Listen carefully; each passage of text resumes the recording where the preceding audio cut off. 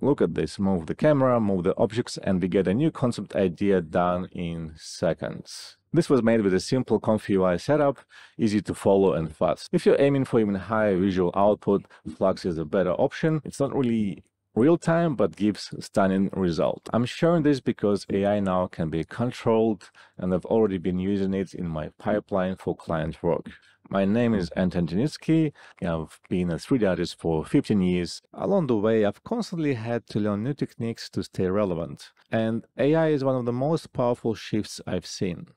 To help others get started without the usual trial and error, I've put together a set of ComfyUI tutorials and ready-to-use workflows that make the process clear, fast, and practical. Everything is available on my website, and I have a special lunch discount right now. The earlier you can dive in into deep AI understanding, the better edge you can get as a professional. Meanwhile, let's build workflow from scratch. I've opened ComfyUI. If you don't get this default image generation template, go into Window, Browse Templates, and this is the image generation that we have and we can reuse all of these nodes. Now I want to pick one of the nodes, right click, assign different color, green for the positive prompt, right click here, color red for negative prompt. I will type in a more sensible prompt a bit later. The KSampler, our main node that is going to process our image, is currently having this particular input empty latent image. We are going to replace it with a screen share node. That node is coming from a MixLab pack, the one we have to go and look for in the custom nodes inside the ComfyUI manager. This pack you need to install.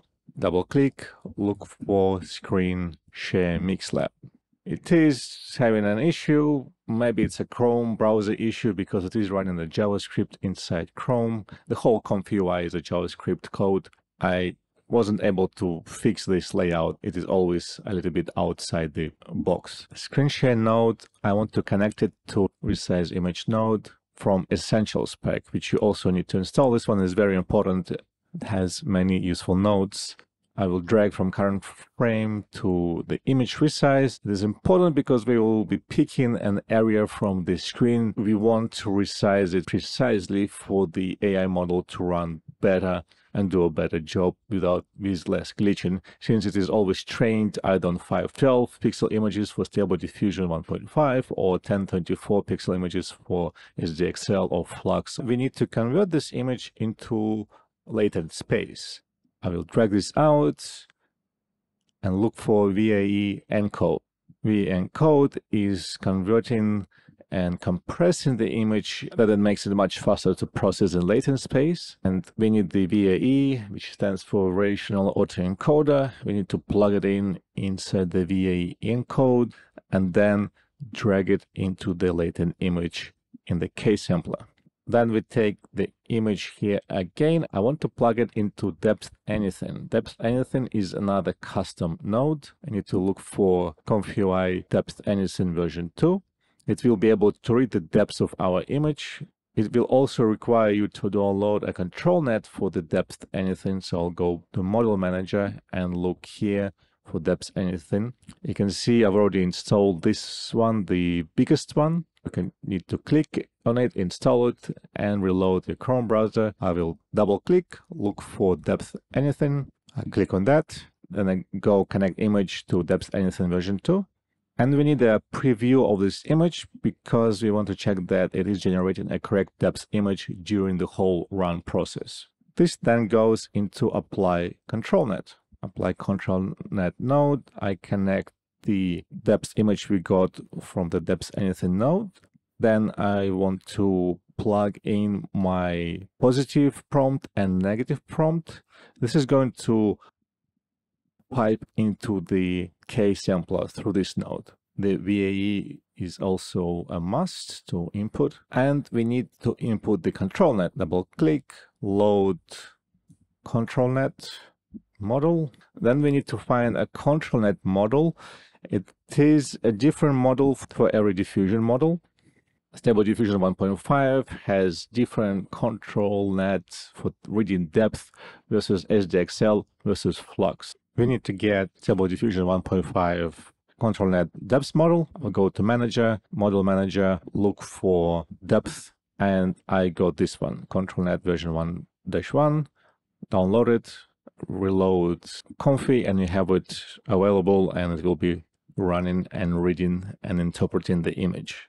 This is the whole network that we need to run. Before we open Blender, I want to download a character from Mixamo. Mixamo uh, is a free website where we can get character animations and use them in our projects, including the characters themselves. I did create my own set of characters and rig them for my website because I cannot use this commercially in a package. However, for any YouTube viewer, I think it is easier to come to Mixamo and grab a character to go ahead. It already loaded the character I used before. The way I found this character, I went to characters tab and they have a big collection of different characters. I was looking for something a bit more anatomy. It's not really mandatory this control depth networks, they can deal even with basically stick figures, really. You can see here, Jennifer is my avatar. Then I go back to animations and you find an animation with the pose that will fit your idea. Then I search for sword. Animation I picked is great sword crouching block to crouch. 14 frames. Any frame here can be used for our pose. Let's go download FBX file. Gives you these options how many frames per second, skin without skin. I keep it at default, it doesn't really matter, I'm just using this for posing. This is the file you will get, 50 megabytes. Let's open, let's input it to Blender. Inside Blender, I will go input, input FBX, pick the FBX and do a standard input. Open the model. I can hide the armature, we don't need to see that. I can drag the timeline to see a better angle. I think this is good enough. We can start building. So I'm pressing Shift A to create the cube. This whole thing was done using cubes, spheres, and cylinders. I will use a cylinder for the lightsaber, place it about right. It's, it's a static pose, so I'm not really concerned that it's not parented. And to build the city, I basically duplicated this, placed it around. I don't want to show how I duplicated a million cubes. Let me just skip to that. This is the scene I end up creating. A lot of boxes of different styles, duplicated many, many times and stretched out to create this epic cityscape. Then what I do, I navigate my camera, place it somewhere here. I do have a light and we can run it as Eevee and activate the ray tracing. My sun is hidden, so I will unhide it. Pretty ugly deformed pose, but AI will take care of that and it will rebuild the anatomy. Even even the hands there, can, we can always call them AI hands here because they're all screwed up. I Windows button left arrow to the left side for the blender, Windows button to the right arrow right side for ComfyUI because we want to grab the screen.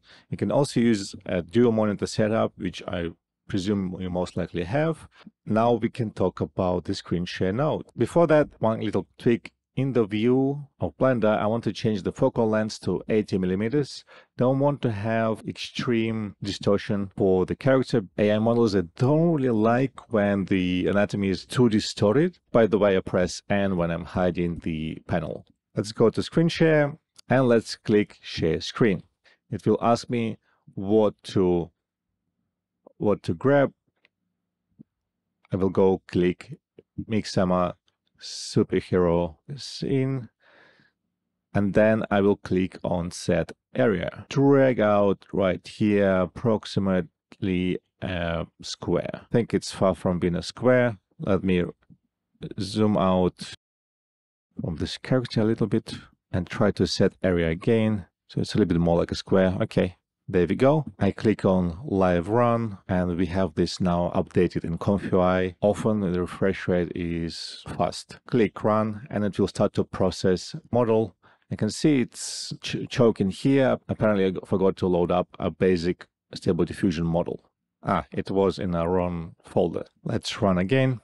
Also load up the ControlNet model. I can see that it read the depths pretty well and I forgot to do the prompt. So it's trying to do this kind of magic bottle prompt. Let's type in something more exciting. I typed in a CGI woman holding a red lightsaber in a cyberpunk city at night during rain, and I added nudity and not safe for work in the negative prompt, which I forgot to rename. Let's click on run, and I hope it doesn't produce a nude image. Actually, I have to pause before I look. We got a stable diffusion creation, which is rather ugly. And one way to improve on that is to reduce strength on apply control net. I can drop it to one 180, 80%. I can also reduce the end percentage applying of control net so it is going to have a lot more freedom at the end. So the the further it goes the more freedom the the model has. Let's try to generate it again. It's no longer very strict. It's getting something. And i'm running this on a original stable diffusion model which is honestly very, very bad. Didn't expect anything to look good because it's very basic. I switched model to Epic Photogasm. It's a more fine-tuned stable diffusion model, which I used a lot in other generations and other videos, and it got a bit better result. If I go click run instant, it will keep on running and running. Let me click on that. And now let me move the screen on the left and it will update here automatically. It has a little bit of a lag because it's still processing the latest image it got from the screen share node. Let me keep on moving the camera. The output is much worse than what I show on a thumbnail or anywhere else because I'm using Stable Diffusion regular version it's uh, incredibly fast, and if you want to test it on a low-end system, this is the way to go. Uh, a better version I want to show now is to use SDXL model. I need to go stop share. It is intense node. It's consuming a lot of resources. I think we can even change refresh rate to 50. 50 will do. We need to change our model to SDXL, and I'm using in this case RealVis SDXL model. You need to download it from civitai.com Uh, the link is going to be in the description. This will produce a much better result. I already have it downloaded, pick it from the drop list. Then we are going to deal with a bigger resolution. The model SDXL is trained on 1024 and 1024. If you actually if you lower down the values to 512 by 12, you'll get an inferior image. In depth anything, I need to change this too. I need to change the control net to SDXL control net Let's go to manager, model manager, SDXL depth. This one that we need, let's install it. After I download it and reload the web page with ComfyUI, I can now look for the control net depth. This is SDXL Lightning model and it, we can run it much faster than a full SDXL model because we can lower the steps. I will go to CFG 1.5 Step 6, Windows button to arrow to the right. Now we have two windows here again. Click share screen, pick window. It already remembers our area. It won't be as fast as Stable Diffusion, and I'm running this on a laptop with 4 gigs of RAM. Before running this on a PC tower with 24 gigs of RAM, 7 seconds. And there we go, a much, much better image. That's what we're talking about. Change the camera, run it again. And of course, at any given time, I can grab this box, place it somewhere, and make a render like this. Let's click on run.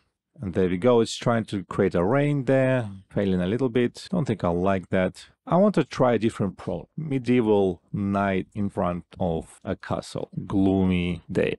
Control Enter to run that. I have this wireframe on the character, which is not the best thing to have, since it can get interpreted by AI model. It's better not to have any overlays whatsoever. And here we go. We got our knight with really funny face. Okay, now the face got covered much better. The castle looks pretty nice. And what I was typing in, I was typing in some mossy rocks, uh, grass in front. I was changing the strengths of this control net, lowering down the control net strengths. It was having a bit more freedom, generating a bit more natural scenery. Also, if you don't use just boxes or if you bring in the mesh, it's a bit nicer, like some blobs for ground. Or if you bring in actual castles there into Blender, you can get a much better generation. I'm trying to show that we can achieve pretty nice results with extreme bare bone setup.